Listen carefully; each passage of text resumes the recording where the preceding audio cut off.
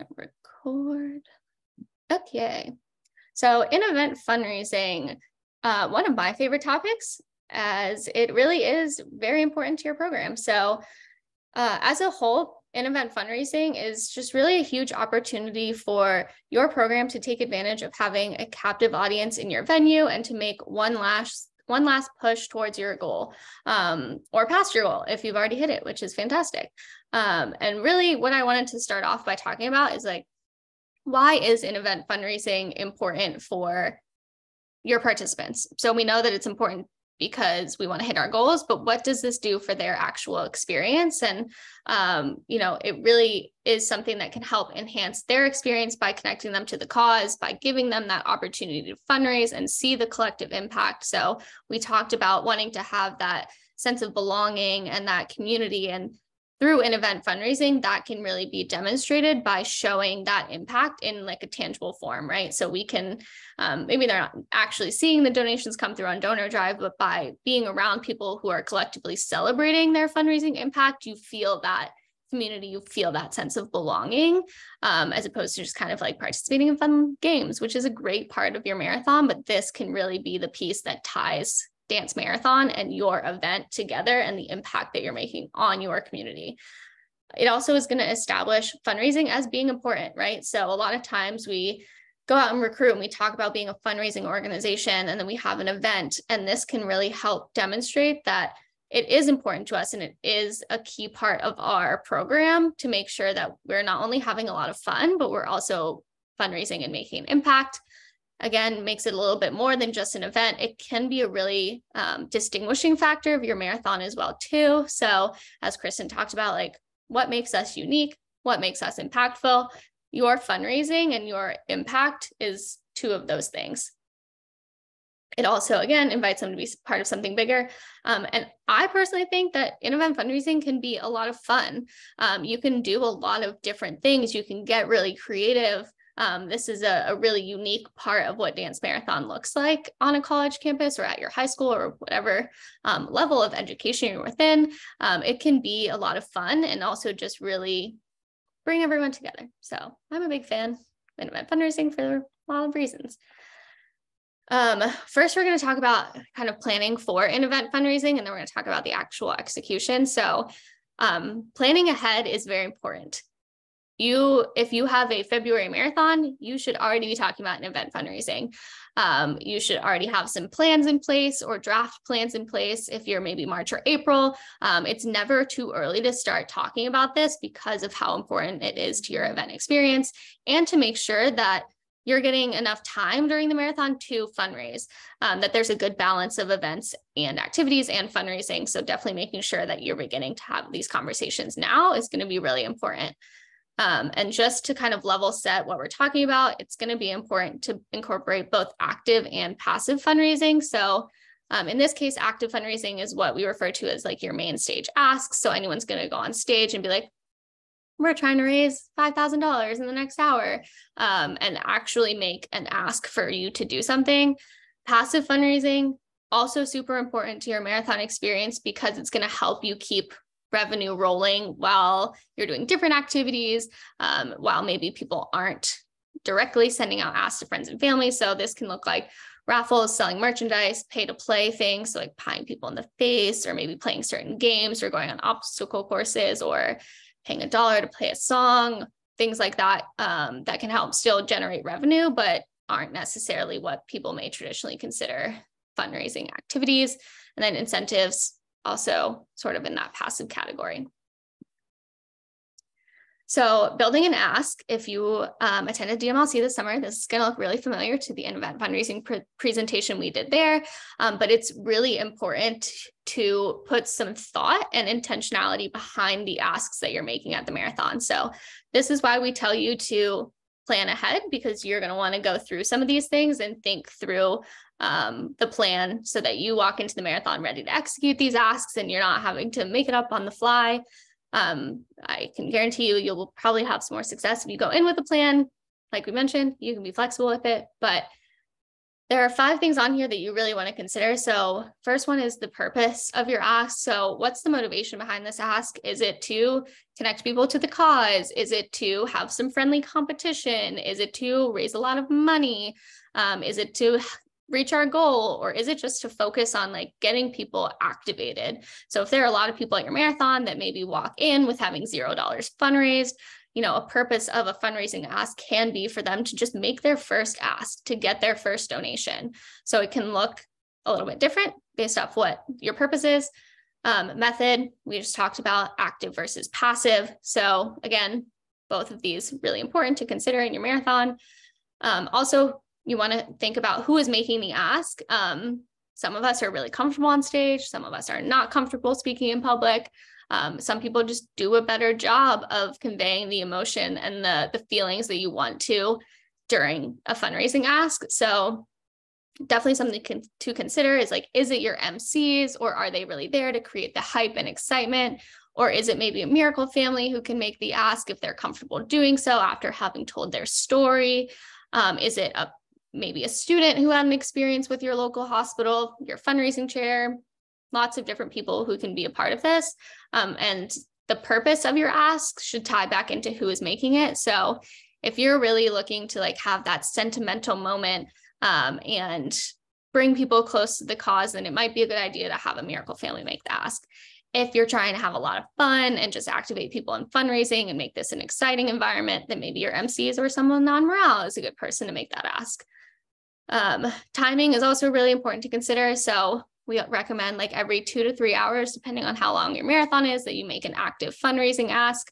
Um, and when are they happening, right? So during opening ceremonies or right after it can be a good time because that's probably when most people are in a room and have, you know, the highest attention span. They just got there, they're excited. Um, but you can also plan it around other pieces of your marathon that might make sense. So again, those miracle family speakers or a hospital speaker or um, really anything else that makes sense for what your programming is. And then last thing that I think is really important is the engagement piece of your in-event ask. So um, it's a little bit boring when you go up there, you make an ask, and then you just kind of like walk off stage, and everyone's just kind of like, "So I'm just just gonna fundraise. What do I do after I fundraise?" Um, so what's that engagement piece? What do they do after they get a donation? Um, and how can you maybe make that cause connected? So that can they go like sign a balloon and stick it on the wall? Can they go ring the bell?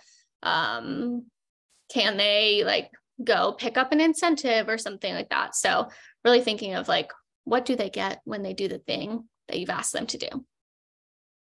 So I've got two examples to show you guys um, that can really just kind of help put those things into perspective um, with an actual example. So for those familiar with like the concept of a push hour or a power hour, this is probably a time where you're really focusing on hitting a goal or raising a lot of money in a certain hour. Um, so I won't walk you through every one of these because you will be able to, you can see them on screen, but this kind of demonstrates all the different puzzle pieces to think about as you're planning these push hours. Um, lots of things you can tie in here. Um, but you can see, you know, the purpose of this push is really going to drive the rest of your decision making. So for this one is specifically, we want to create excitement and energy. So again, we're going to have the MCs do it.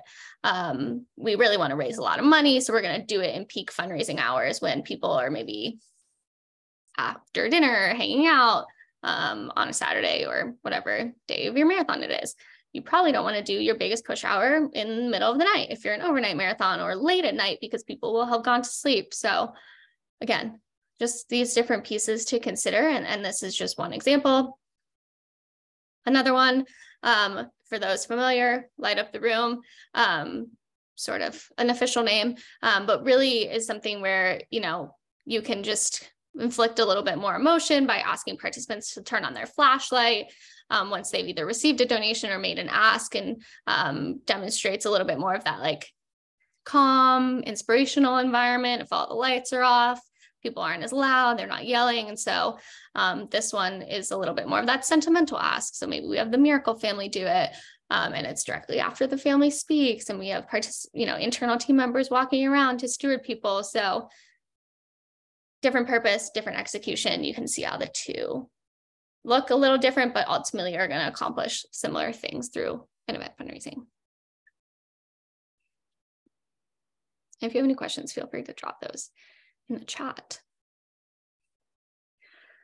So we've talked a little bit about like those are the things you'll be doing before the marathon, right? So you're going to plan, you're going to put together this plan for execution that incorporate all those different fundamentals, and then we're actually going to execute it at the marathon. So setting the foundation for an event fundraising during the marathon, you really need to consider does everyone here know where our funds are going and how our funds are making an impact? Because if they're new to dance marathon or maybe they registered yesterday and your marathon's today they may have no idea what they're doing here but their friend asked them to come so making sure that you are taking the time to explain to them what's the purpose of our marathon? What is the purpose of fundraising at our marathon? Where are the funds going? Is going to be key to make sure that they want to fundraise with you and that they feel inspired to fundraise with you. Secondly do they know how to fundraise?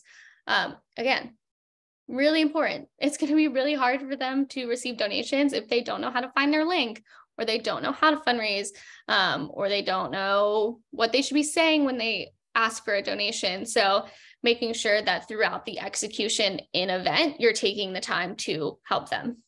And then do they have the necessary resources needed to be successful with in event fundraising? So um, again, a lot of times during marathons, some of these people are completely new to your program. Some of these people have returned. But if you're going to say, go out and raise $62, and they're like, I know how to do that, but maybe I don't know how to explain it, or I don't know what to say, um, or I'd love a graphic to go with that, making sure that they have the necessary things to be successful with fundraising and support in person as well too. So thinking about all we just kind of talked about, breaking it down a little bit further, to successfully then have them actually fundraise at your marathon, these are five things that you should be doing.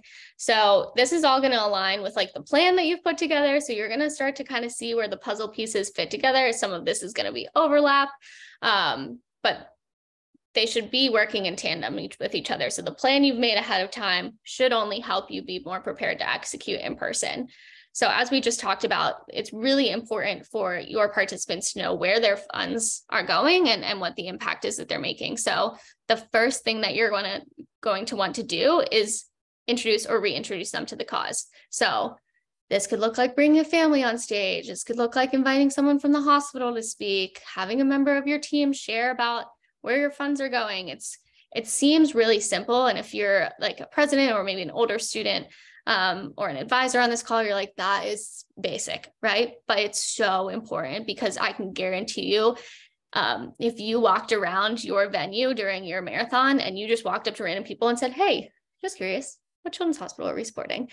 Some of them are going to get it wrong um, or not know because they just are there to hang out with their friends maybe or they signed up yesterday again just something that seems really basic but i think we often take for granted is making sure that all of our participants are on the same page so those are things that you can do first and then lead into actually making a clear ask and setting those expectations so like we talked about, the purpose of your ask is going to drive what you're actually doing. And this can look really different. So asking participants to raise a certain amount of money, whether that's $100 in the next hour or um, per person or $5,000 collectively amongst everyone in this gym, um, asking them to do something specific is only going to help them understand what to do next. Because if you're just like, we're going to fundraise, they might just be like, okay, what do I do? And who do I ask? How much do I ask for?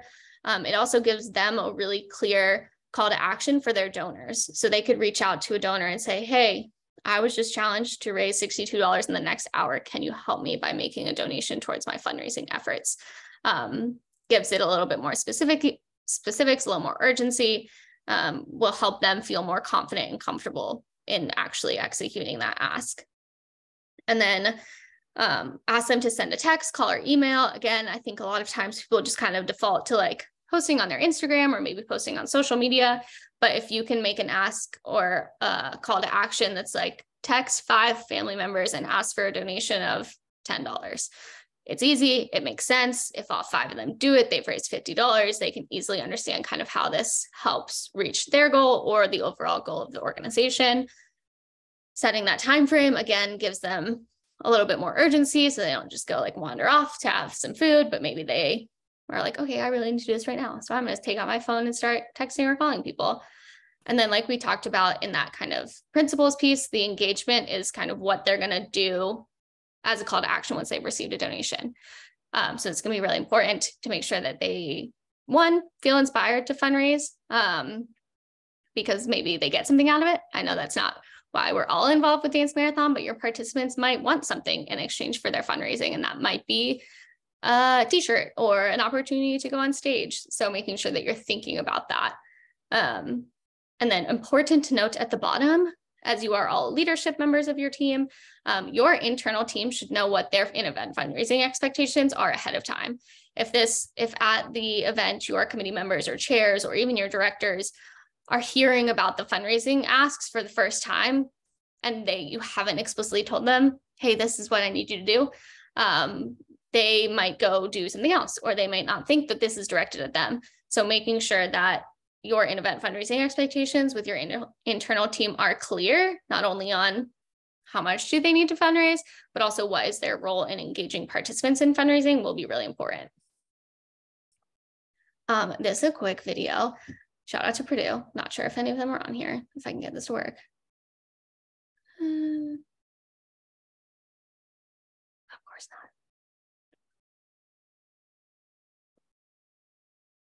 I'll come back to it.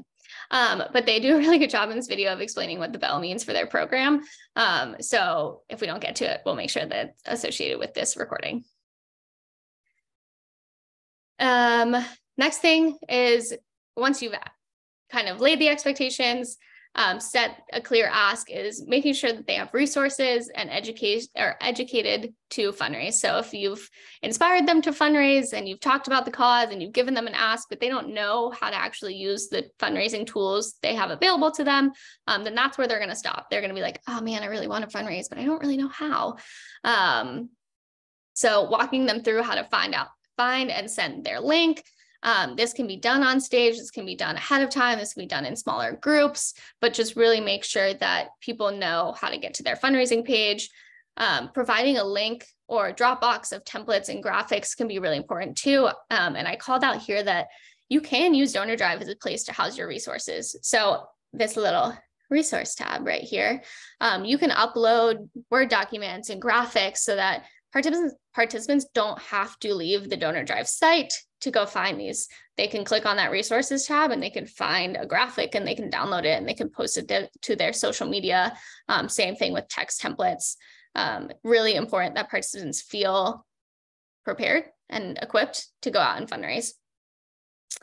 Having a fundraise resource, oh, that's meant to say table, having a fundraising resource table. So if you you can easily say on stage, like, if you don't know how to fundraise, head back to the table on the left side of the gym and they'll help you.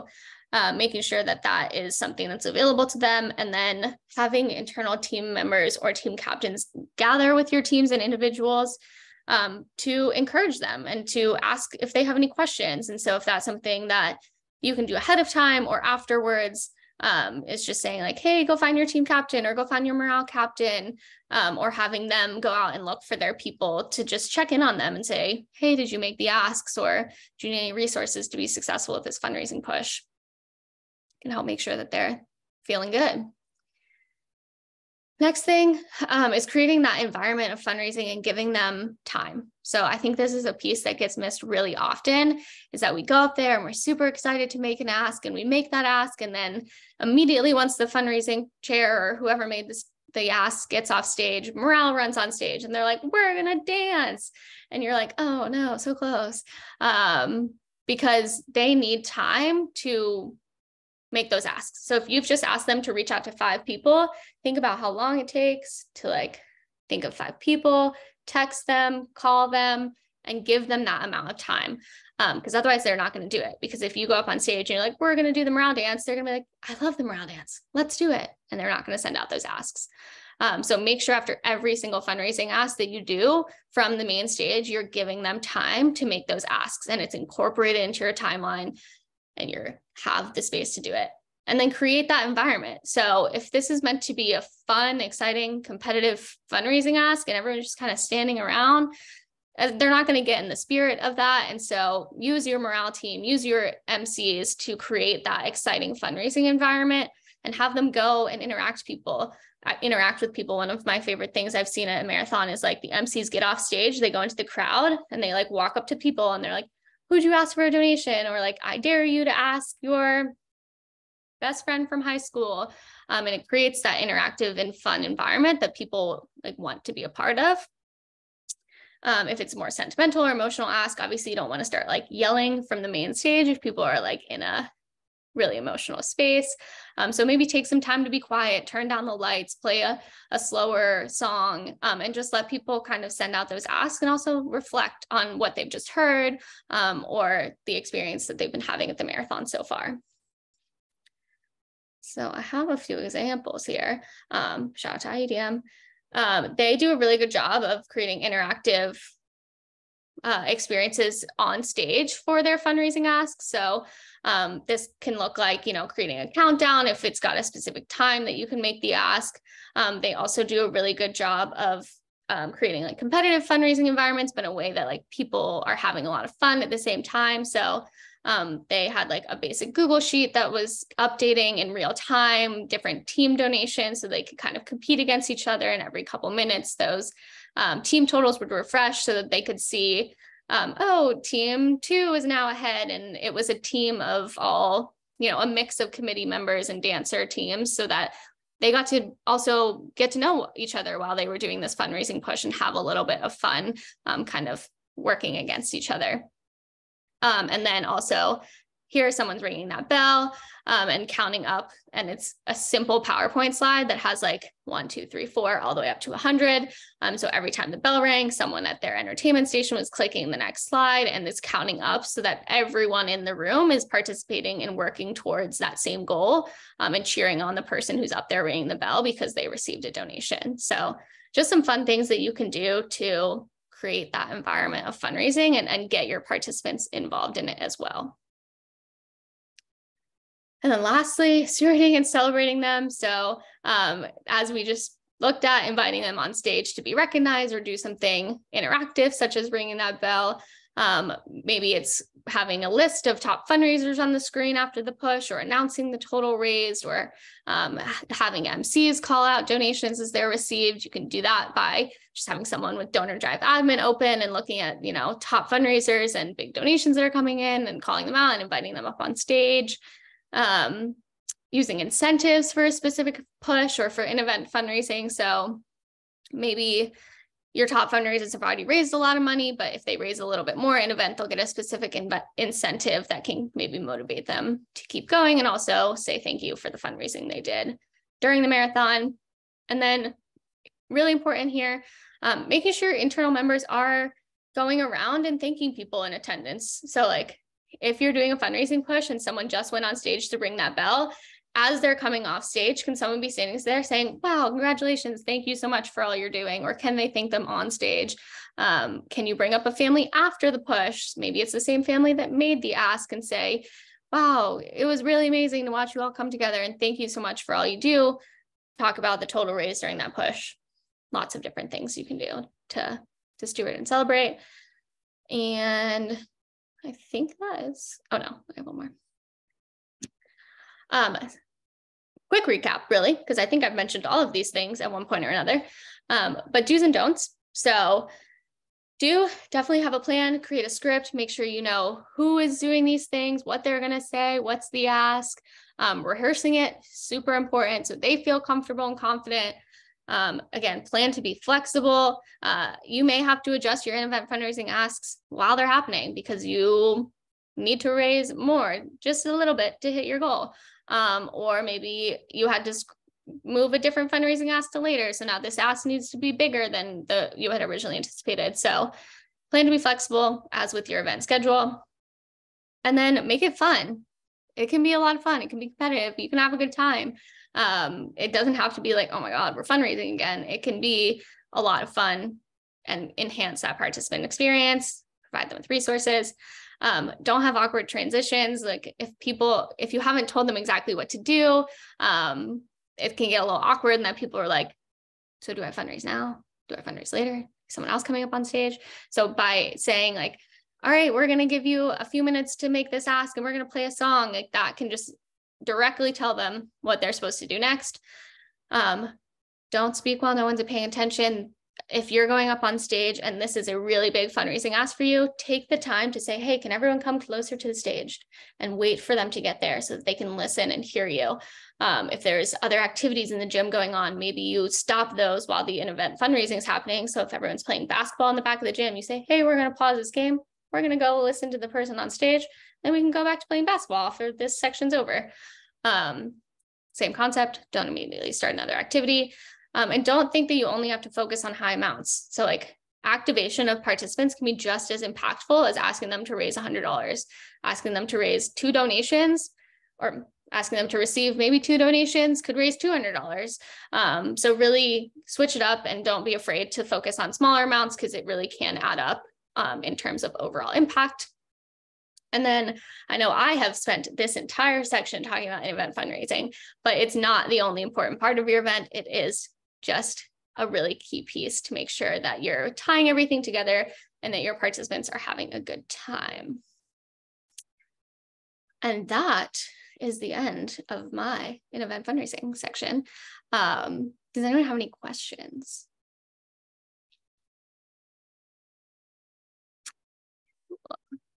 Well, hopefully this was really helpful and you learned something. Um, highly recommend sharing this with your team members and then opening up conversations with your team and your advising teams, your cause partnership manager included, about what your specific programs and event fundraising plans could look like because um, it's not a one size fits all. Um, and you should really be building it in a way that is going to enhance your program and meet the goals that you've got set for yourself. So um, I know we love to connect with other programs, but and you can get really great ideas from other programs. Um, but this should be a very unique to your program um, design and something exciting that you can do to make it a little bit of your own. So you guys, I think, can head back to the main room and we will close out by some key takeaways and incentive. Thanks, everybody.